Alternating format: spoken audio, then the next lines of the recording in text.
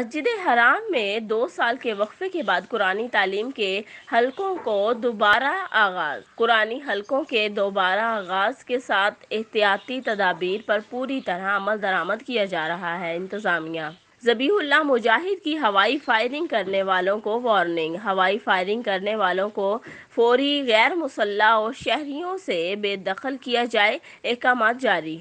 दुनिया भर में कोरोना से अमवात पैंतालीस लाख बाईस करोड़ से जायद अफराद मोजी मर्ज का शिकार। दुनिया भर में एक करोड़ नवासी लाख उनतीस हज़ार एक सौ इक्कीस मरीज़ हस्पतालों करंतीनिया मराकज़ और जेर इलाज और घरों में आइसोलेशन में है, रिपोर्ट।